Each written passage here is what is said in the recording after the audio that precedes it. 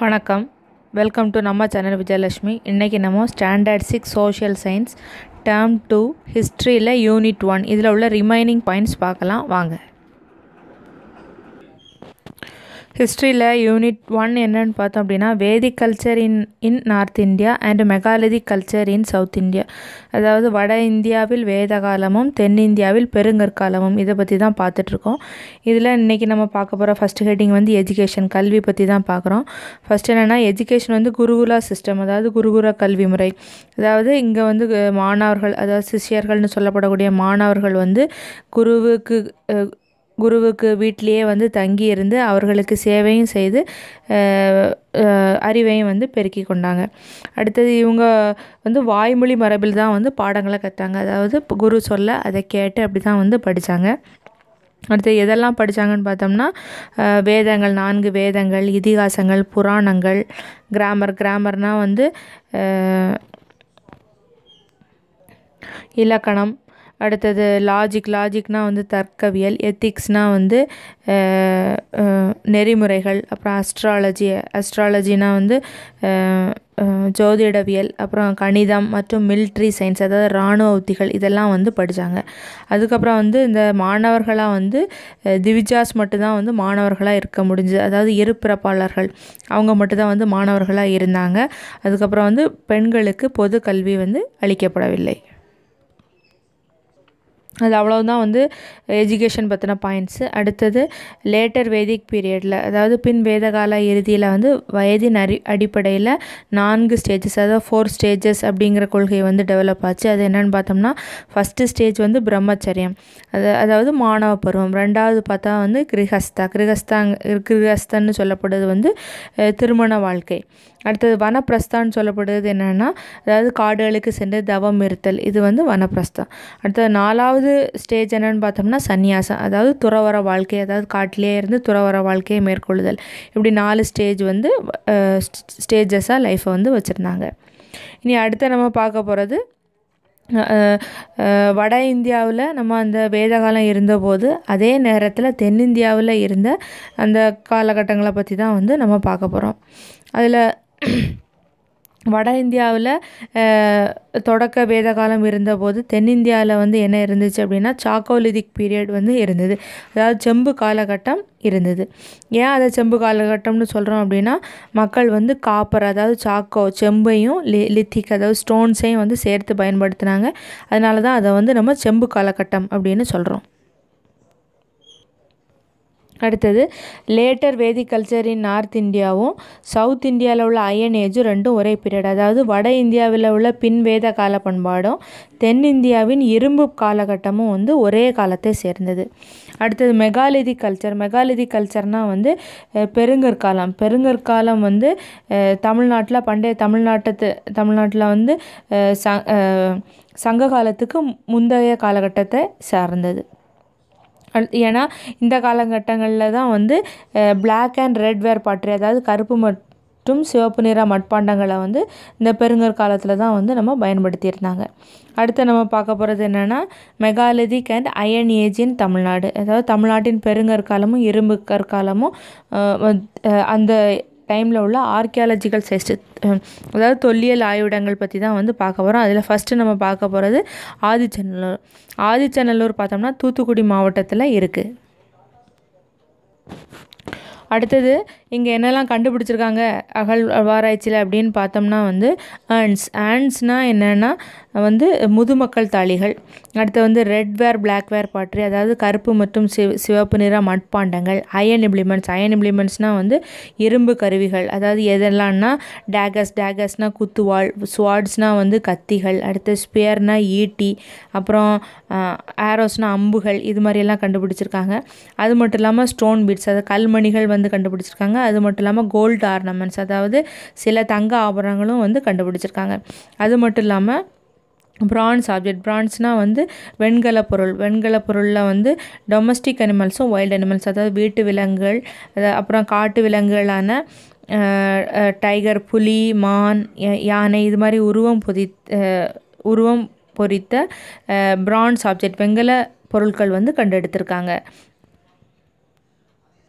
அடுத்து ரெண்டாவது நம்ம பார்க்க போகிற இடம் எதுன்னா கீழடி. கீழடி வந்து சிவகங்கை மாவட்டத்தில் இருக்குது இங்கே வந்து ஏஎஸ்ஐ ஏஎஸ்ஐனா ஆர்கியாலஜிக்கல் சர்வே ஆஃப் இந்தியா அதாவது இந்திய தொல்பொருள் ஆய்வுத்துறை வந்து ஒரு பழமையான நகரத்தை வந்து தோண்டி எடுத்திருக்காங்க.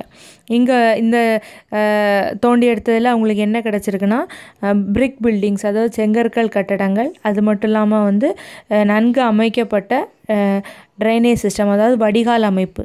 இதுவும் வந்து அங்கே கண்டுபிடிச்சிருக்காங்க. நம்ம இண்டஸ் வேலையில் பார்த்தோம்ல அதே மாதிரி இங்கேயும் வந்து கண்டுபிடிச்சிருக்காங்க. அது மட்டும் இல்லாமல் தமிழ் பிரம்மி இன்ஸ்கிரிப்ஷன் ஆரன் பாட்ரி அதாவது மட்பாண்டங்களில் தமிழ் பிரம்மி எழுத்துக்கள் வந்து இருந்திருக்கு. அது மட்டும் இல்லாமல் கண்ணாடியிலான மணிகள் பீட்ஸ் ஆஃப் கிளாஸ் கண்ணாடி மணிகள் அப்புறம் கர்னீலியன் அடுத்தது அதாவது சிவப்பு செம்மணிகள் கர்னீலியன்னா வந்து செம்மணிகள் அப்புறம் குவாட்ஸ் அதாவது வெண் வெண்கல படிகத்தினால மணி மணிகள் அடுத்து பேர்னா முத்துக்கள் தங்க ஆபரணங்கள் இரும்பு பொருட்கள் ஷெல் பேங்கிள் ஷெல் பேங்கிள்ஸ்னால் வந்து சங்கு வளையல்கள் ஐவரி டைஸ் ஐவரி டைஸ்னால் வந்து தந்தத்தினால் செய்யப்பட்ட பகடை பகடை காய்கள் இதெல்லாம் வந்து கண்டுபிடிச்சிருக்காங்க. அப்புறம் இந்த சாம்பிள்ஸ் எல்லாம் வந்து ரேடியோ கார்பன் டேட்டிங் அதாவது பழைய கால பொருட்கள் எந்த காலத்தை சேர்ந்தது அப்படிங்கிற கண்டுபிடிக்கிறதுக்கு கதிரியக்க கார்பன் கணிப்புன்னு ஒரு முறை இருக்குது அதில் கண்டுபிடிக்கும் போது இது வந்து இருநூறு பிசி காலகட்டத்தை சேர்ந்தது அப்படின்னு வந்து கண்டுபிடிச்சிருக்காங்க. அது மட்டும் இல்லாமல் இங்கே வந்து ரோமானிய நாட்டை சார்ந்த தொல்பொருட்கள் கலைப்பொருட்கள் வந்து கிடச்சிருக்கு. அது வந்து இந்தியாவிற்கும் ரோம் ரோமுக்கும் இடையில வந்து வணிகம் நடந்ததுக்கான சான்றுகள் இங்கே கிடச்சிருக்கு. அதாவது கீழடி சிவகங்கை மாவட்டம் கீழடியில் இந்த பொருட்கள் வந்து நமக்கு கிடச்சிருக்கு.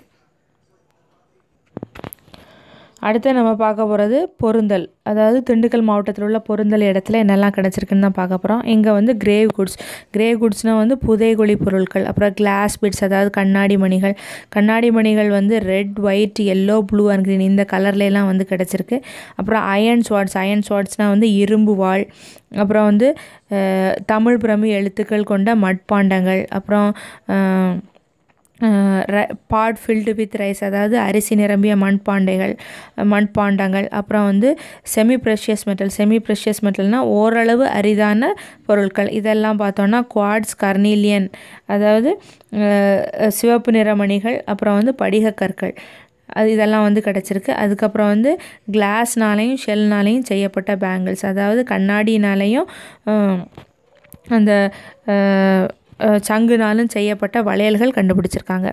அது மட்டும் இல்லாமல் உளவு கருவிகளான அயன் சிக்கிள் அதாவது இரும்பு கதிர் இருக்கும் அறிவாள் ஈட்டி கொழுமுனைகள் இதெல்லாம் வந்து கண்டுபிடிச்சிருக்காங்க. இதில் இருந்து கண்டிப்பாக வந்து அக்ரிகல்ச்சர் நெல் விளைவிச்சிருக்காங்க அப்படிங்கிறது நமக்கு தெரிய வருது. அது மட்டும் இல்லாமல் ஒரு பானை நிறைய அரிசி கிடச்சிருக்கு. இதிலிருந்து அரிசி தான் அந்த காலத்து மக்களின் முக்கிய உணவாக இருந்திருக்கு அப்படிங்கிறதும் தெரிய வருது. அடுத்து நம்ம பார்க்க போகிறது வந்து பையம்பள்ளி அப்படிங்கிற இடம். இது வந்து வெள்ளூர் மாவட்டத்தில் இருக்குது இங்கே வந்து நிறைய அயன் ஆர்டிஃபேக்ட்ஸ் அதாவது இரும்பு கலைப்பொருட்கள் மற்றும் தொல்பொருட்கள் வந்து கண்டுபிடிச்சிருக்காங்க. இதுக்கு கூட பிளாக் அண்ட் ரெட் வேர் பற்றி அதாவது கருப் கருப்பு மற்றும் சிவப்பு நிறத்திலான மட்பாண்டங்களும் இந்த பையமொழியிலேருந்து கிடச்சிருக்கு. அது மட்டும் இல்லாமல் பையம்பள்ளியில் இம்பார்ட்டன்ட்னு என்ன பார்த்தோம்னா எவிடன்ஸ் ஃபார் அயன் ஸ்மெல்ட்டிங் அதாவது இரும்பு உருக்கப்பட்டதற்கான ஆதாரம் வந்து நமக்கு பையம்பள்ளியில் கிடச்சிருக்கு. இதை வந்து நம்ம கதிரியக்க கார்பன் முறையில் நம்ம அளந்து பார்த்தோம்னா அது வந்து ஆயிரம் பிசி இந்த காலகட்டத்தை சேர்ந்தது. அடுத்தது நம்ம பார்க்கறது வந்து கொடுமணல். கொடுமணல் வந்து ஈரோடு மாவட்டத்தில் இருக்குது இது பற்றிய தகவல்கள் நமக்கு பதி பதித்து பற்று அப்படிங்கிற அந்த நூலில் வந்து நமக்கு கிடைக்கப்படுது. அதில் உள்ள கொடுமணலும் இதில் உள்ள கொடுமணலும் ஒன்று தான் அப்படின்னு நம்ம வந்து எடுத்துக்கிறோம். அடுத்து இங்கே என்னெல்லாம் கிடச்சிருக்கு அப்படின்னா முந்நூறுக்கும் அதிகமான மண்பாண்டம் அதாவது எழுத்துக்கள் கொண்ட தமிழ் பிரம்மி எழுத்துக்கள் கொண்ட மட்பாண்டங்கள் வந்து கண்டுபிடிச்சிருக்காங்க. அது மட்டும் இல்லாமல் spindles whorl pieces of cloth அதாவது நூல் சுற்றி வைக்கப்படக்கூடிய அந்த சுழல் சுழல் அச்சுக்கள் அடுத்தது வந்து சுருள்கள் அப்புறம் வந்து துணி சிறு சிறிய துணி துண்டுகள் அப்புறம் இதெல்லாம் வந்து கிடச்சிருக்கு. அதிலிருந்து வந்து நெசவு நடந்திருக்கு அப்படிங்கிறது நமக்கு தெரிய வருது.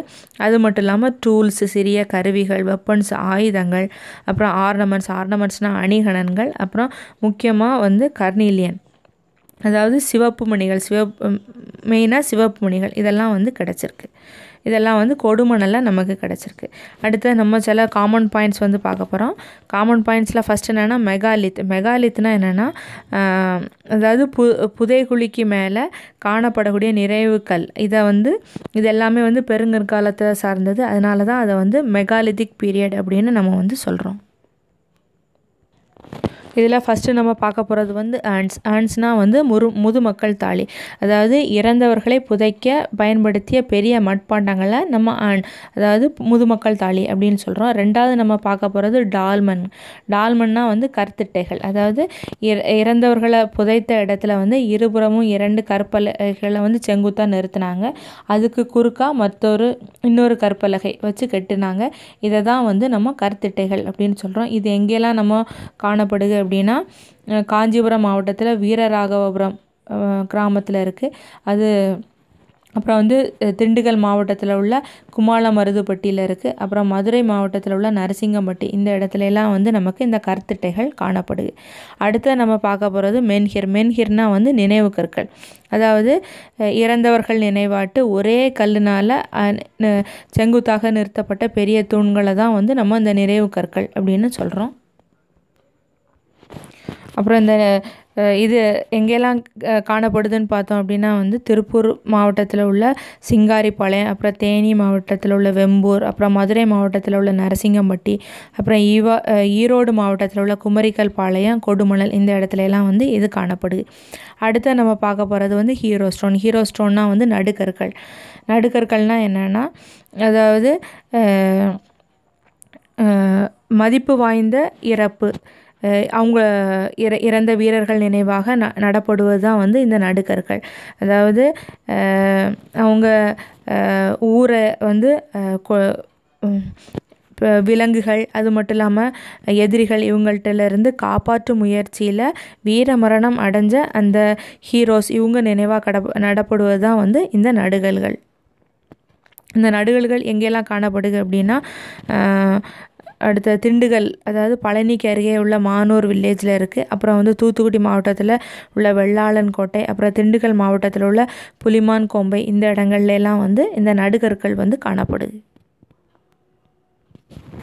அதாவது ரோம் நாட்டில் நம்ம ரோம் நாட்டுக்கும் இந்தியாவுக்கும் வணிக தொடர்பு இருந்ததை நம்ம கீழடியில் உள்ள அகழ்வாராய்ச்சி பொருட்களை க க கிட கிடைச்சதுலேருந்து நமக்கு தெரிய வருதுன்னு சொன்னோம். இதே தகவல்களை வந்து பெரிப்ளஸும் வந்து பதிவு பண்ணியிருக்காங்க. அது என்னென்னா இந்தியாவிலேருந்து ரோம் நாட்டிற்கு வந்து ஸ்டீல் வந்து ஏற்றுமதி செய்திருக்காங்க. எக் ஸ்டீல்னால் வந்து எக் ஏற்றுமதி செய்திருக்காங்க. அதுக்கு வந்து அலெக்சாண்ட்ரியா துறைமுகத்தில் வந்து வரி விதிக்கப்பட்டிருக்கு அப்படிங்கிறத வந்து பெரிப்ளஸ் வந்து நோட் பண்ணியிருக்காரு. இதிலிருந்து நமக்கு கீழடியில் கிடச்ச அந்த ரோம் இது வந்து சரிபார்க்கப்படுது.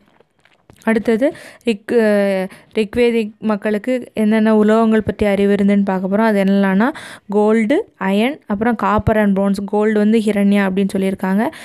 அயன் வந்து ஷியாமா அப்புறம் காப்பர் ஆர் பிரான்ஸ். இதை வந்து அயாஸ் அப்படின்னு சொல்லியிருக்காங்க. அப்புறம் நான்கு வேதங்கள் எதெல்லாம்னு பார்த்தோம்னா ரிக்வேதம் யஜுர்வேதம் சாம வேதம் அதர்வண வேதம் அடுத்தது என்ன பார்க்க போகிறோன்னா நம்ம இந்தியாவின் தேசிய கொள்கை. தேசிய கொள்கை என்னென்னு பார்த்தோம்னா சத்தியமேவ ஜெயதே. அதாவது வாய்மையே வெல்லும்.